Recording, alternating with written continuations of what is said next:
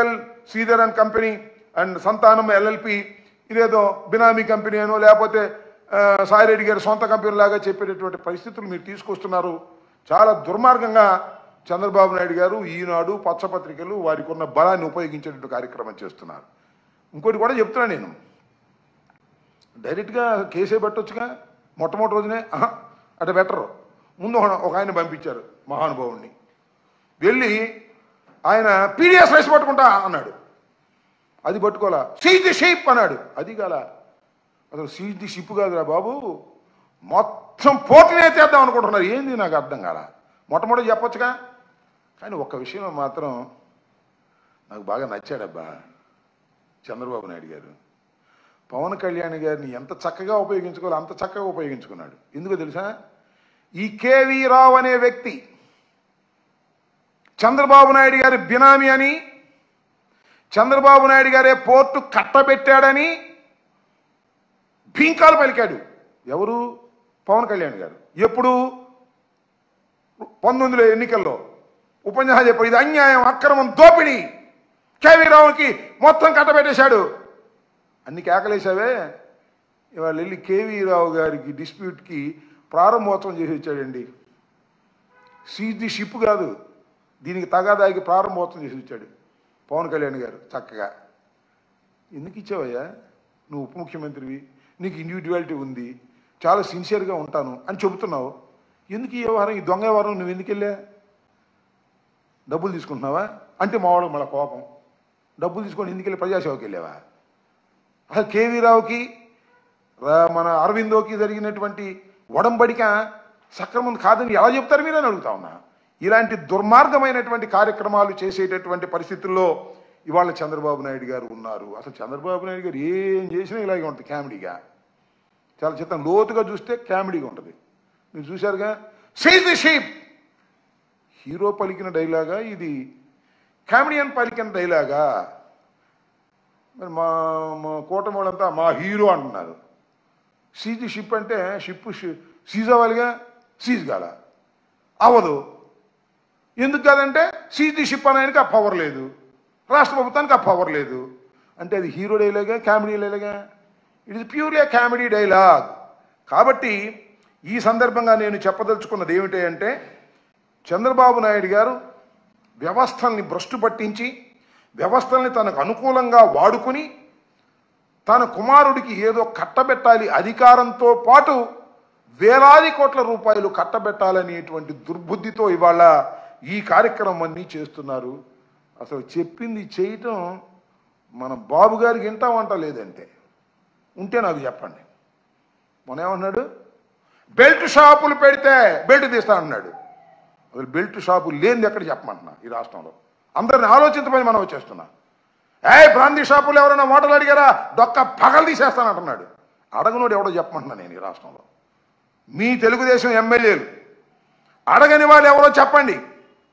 అడగని వాళ్ళు ఎవరైనా ఉంటే వాళ్ళకి పెద్ద సన్మానం చేద్దాం. కానీ ఊరుకోడంట చంద్రబాబు నాయుడు గారు. బెల్ట్ షాపుల గురించి కానీ లేకపోతే మందు షాపుల గురించి కానీ ఎవరైనా ఓటర్లు అడిగితే సహించే ప్రశ్న లేదంట. బీంకాలు పరుగుతూ ఉన్నాడు. పిట్టల దొరలాగా అందరూ కొట్టుకు తినే బాచి బయలుదేరి విపరీతంగా కొట్టుకు తినేటువంటి పరిస్థితుల్లో ఇవాళ ఉంటే మీరు ఇవాళ మాట్లాడతారు. అంతేకాదు అసలు ఏంది బియ్యంలో గొడవ ఏంది? సరే కాకినాడ సీపోర్ట్ నువ్వు కాజేయడానికి ప్లాన్ వేసి బియ్యం దగ్గరికి చీమలు పంపినట్టుగా మా పవన్ కళ్యాణ్ పంపామనుకో అది వేరే విషయం. బియ్యం దగ్గర చీమలు వెళ్తాయి కదా అట్ట వెళ్ళారు. చివరికేమో పెద్ద చేప పట్టుకోవాలని చంద్రబాబు గారు తాపత్రయ పడిపోతున్నారు. బియ్యంలో వాటలు ఏంది ఎవరికబ్బా నాకు చెప్పు. నేను మనవి చేస్తున్నా. ప్రతి నియోజకవర్గంలోనూ ఇరవై లక్షలు ముప్పై లక్షలు పది లక్షలు ఐదు లక్షలు తీసుకొని ఎమ్మెల్యే ఎవరో ఒక్క పేరు చెప్పమంటున్నాను నేను తెలుగుదేశం మొత్తంలో. టోటల్గా రైస్ ఎక్కడైతే ఉత్పత్తి జరుగుతుందో ఈ పీడిఎఫ్ రైస్లో మొత్తం వాటాలు తీసుకొని కాలం గడుపుతూ ఉంటే నువ్వేమో భీకర పోరాటాలు చేస్తున్నటువంటి ఫోజు పెడితే ఏం చెప్పాలి? నేను నాకు అర్థం కానటువంటి పరిస్థితిని మనం చేస్తున్నా. అదేమంటే మొన్న ఏదో పొయ్యావుల కేశవులు గారు ఫైనాన్స్ మినిస్టర్. ఆయన వియ్యం కూడా అంట. ఆయన షిప్ మొన్న వెళ్ళిపోయింది. సర్టిఫై చేశారు మేము చెప్పిన తర్వాత అన్ని బ్రహ్మాండంగా తీసే తీసే తోసే తోసేయమని తోసేశారు. మళ్ళీ ఇప్పుడు షిప్ లోడ్ అవుతుంది. పైవాళ్ళ కేశవ్ గారు అంటాడు మా వియ్యంకుడు ఎప్పటి నుంచో చేస్తున్నాడు కానీ బాయిల్డ్ రైస్ చేస్తాడు తప్ప రా రైస్ చేయడని. చేసేదంతా రా రైసే నిరూపించడానికి మేము సిద్ధంగా ఉన్నాం. అదేమంటే నాకును మా నానికి నాడు చెక్ పోస్టులు ఇస్తాయంట. మేము చెక్ చేసుకోవాలంట. మాకు చెక్ పోస్టులు ఇస్తాం మేము చెక్ చేసుకుంటాం. మరి మీ ప్రభుత్వం ఏం చేసింది గుడ్డి కూరల పళ్ళు దోవుతుంటుందా మేము చెక్ చేసుకుంటే. ప్రభుత్వం చేసిన ప్రభుత్వం చేయాలి. గాడి చేసిన గాడి చేయాలి. కుక్క చేసిన కుక్క చేయాలి. మీరు చేయాల్సిన పని చేయకోకుండా మమ్మల్ని చెక్ చేసుకోవడం అంటే మీ డొల్లతనం మీ దగ్గర సరుకు లేదు. సరుకు లేకుండా మీరు మాట్లాడుతున్నారు. దోపిడీ రాజ్యం ఇది. తెలుగుదేశం అధికారంలోకి వచ్చిన దగ్గర నుంచి దోపిడీ చేయటమే పనిగా పెట్టుకున్నారు. ఏదో ఒక విధంగా వైఎస్ఆర్ కాంగ్రెస్ పార్టీ నాయకుల్ని కానీ వైఎస్ఆర్ కాంగ్రెస్ పార్టీకి సంబంధించినటువంటి సంస్థలను కానీ ఇబ్బంది పెట్టాలనే దుర్బుద్ధితో ప్రయత్నం చేసే కార్యక్రమంలోనే అరబిందో ఫార్మ్స్ని కూడా ఇబ్బంది పెట్టే కార్యక్రమంలో కేవీ రావు గారిని ఉపయోగించుకొని అడ్డం పెట్టుకొని ఈ కార్యక్రమాన్ని చేస్తున్నారు. ఇది ఫ్యాక్ట్ అండి. కంపెనీలు ఎన్ని మారుతున్నాయి? ఎంతమంది ఎంతమంది షేర్లు అమ్ముకుంటున్నారు? చంద్రబాబు అమ్ముకోలేదా? చంద్రబాబు అమ్ముకున్నా లేదా? అక్కడ దాకా ఏదో రామోజీరావు గారు తమ షేర్ని అమ్ముకోలేదా? నాకు తెలియకడుగుతా.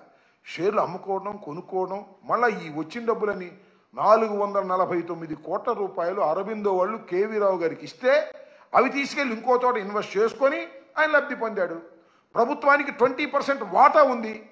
ఆ రోజున చంద్రబాబు నాయుడు గారు కేవీ రావు కట్టబెట్టే రోజున మొత్తం అంతా కట్టబెట్టి ఇరవై పర్సెంట్ నామినల్ ప్రైస్ ఏమో దీనికి పెట్టి చేశారు. అసలు కేవీ రావు గారి దగ్గర నుంచి కొనదలుచుకున్నప్పుడు కత్తి పెట్టి కొనదలుచుకున్నప్పుడు గన్ను పెట్టి కొనదలుచుకున్నప్పుడు మొత్తం కొనేసేవాడుగా ఫిఫ్టీ వన్ పర్సెంట్ కొనేస్తే మొత్తం అంతా వెళదే కదా. చంద్రబాబుకి అలవాటు. చిట్ ఫండ్ సంస్థలో సహని సహాయకుడిగా ఉన్నాడు కదా జేజే రెడ్డి అని. ఆయన కుటుంబం దగ్గర కత్తి పెట్టాడో గన్ను పెట్టాడో కర్ర పెట్టాడో పెట్టి ఆ మొత్తాన్ని లాక్కుని చేశాడనేది జేజీ రెడ్డి వారసులు వచ్చి కంప్లైంట్ ఇచ్చారు కేసు రిజిస్టర్ అయి ఉంది. దాని మీద కూడా ఎంక్వైరీ జరుగుతుంది గుర్తుపెట్టుకోమని మనం చేస్తున్నా. ఈ విధంగా వ్యవస్థల్ని భ్రష్టు పట్టించి వ్యవస్థలను మేనేజ్ చేసి ఏదో ఒక విధంగా బురద జల్లాలనేటువంటి కార్యక్రమంలో చంద్రబాబు నాయుడు గారు పనిచేస్తున్నారు. అరబిందో కంపెనీలో వారు కొన్నటువంటి షేర్లు చట్టబద్ధమైనవనేది అందరికీ తెలిసినటువంటి సత్యమైన ఏదో ఒక విధంగా పోలీస్ యంత్రాంగాన్ని తనకు ఉపయోగించుకొని పిచ్చి కంప్లైంట్లన్నీ కూడా రిజిస్టర్ చేసి కేసులతో ఇబ్బంది పెట్టాలనేటువంటి పరిస్థితులు ఉన్నారు. పోలీస్ వ్యవస్థ కూడా సక్రమంగా పనిచేసే విధంగా ఉండాలి తప్ప డీజీపీ గారికి నేను మళ్ళా చెప్తున్నా ఆల్ ది ఐపీఎస్ ఆఫీసర్ మళ్ళీ చెబుతున్నా ఇచ్చిన ప్రతి కంప్లైంట్ రిజిస్టర్ చేస్తారు. మేము ఇచ్చాము కంప్లైంట్స్. నేను స్వయంగా వెళ్ళి ఇచ్చానే. సోషల్ మీడియాకు సంబంధించింది. ఒక్కటైనా మీరు రిజిస్టర్ చేశారా అని అడుగుతా ఉన్నా. చెయ్యరు. చూస్తాం. చేయకపోతే దానికి మార్గాలు ఉన్నాయి. కాబట్టి పోలీస్ వ్యవస్థను అడ్డం పెట్టుకొని రాజ్యాధికారంతో మీరు ఏదో చేయాలని తాపత్రయపడుతున్న మీకు రాబోయే కాలంలో గట్టి గుణపాఠం చెప్పేటటువంటి పరిస్థితి కూడా వస్తుందనే విషయాన్ని దయచేసి మర్చిపోవద్దని కూడా ఈ సందర్భంగా నేను చెప్పదలుచుకున్నాను.